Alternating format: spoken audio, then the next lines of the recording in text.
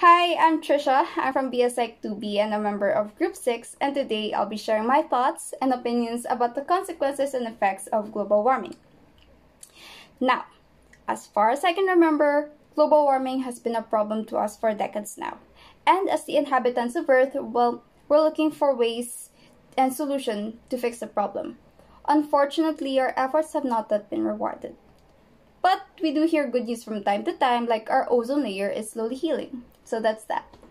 And so, uh, what current events have we experienced um, are you know, is a, are a cause of global warming.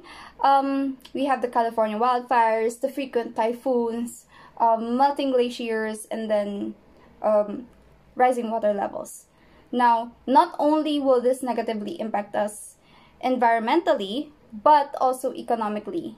Because, first of all, wildfires, we, people, we people depend on agricultural products. Now, the you know the damages that the, that these wildfires would create you know on the lands that we use for our our our agricultural products will take time to recover and so that's gonna be a very negative impact to us economically now the typhoons if i can remember correctly when we were kids um we would rarely experience typhoons like once every three months once every four months but now we experience it two to four times a month. That's really bad.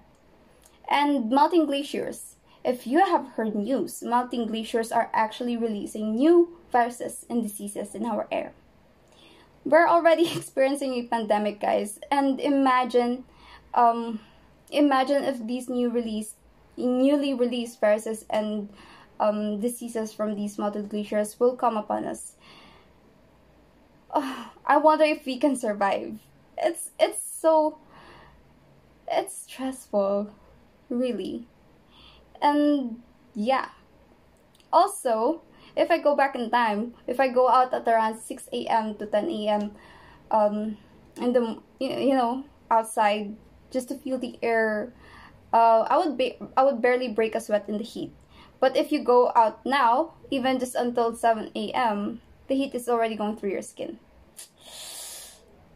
that in itself is is bad news. So, you know, um, let's take little steps. We have already been taught of ways to actually reduce or, you know, to help um, reduce the effects of global warming. Like planting trees, reducing our waste, reducing our carbon footprints, and um, and yeah, we're finding clean and renewable energy like ele electricity for our day-to-day basis uh yeah daily daily use so let's take part in those let's take action now so that um it will not worsen in the future and uh you know we'll be able to slow it down because actually humans are you know the cause of what we experience now but I'm sure that humans, as always, will find a way to solve, you know, the problems that they create. Now, bottom line, global warming is bad, and let's let us all take little steps and actions to fix the problem. So that's all. Thank you. Have a good day. Bye. According to the National Climate Assessment, human influences are the number one cause of global warming, especially the carbon pollution which we cause by burning fuels, fuels, and the pollution capturing we prevent by destroying forests. The carbon dioxide, methane, soot, and other pollutants we release into the atmosphere act like a blanket, trapping the sun's heat and causing the planet to warm. Higher temperatures are worsening many types of disaster, such as storms, heat waves, floods, and droughts. A warmer climate creates an atmosphere that can collect, retain, and drop more water, changing weather pattern in such a way that wet areas become wetter and dry areas drier.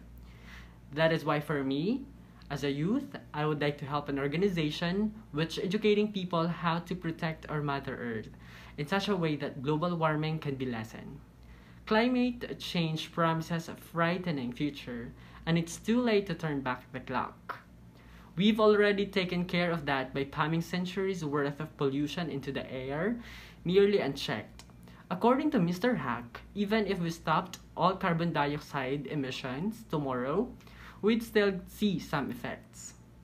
That, of course, that is the bad news. But there's also a good news, actually, by aggressively reducing our global emissions now.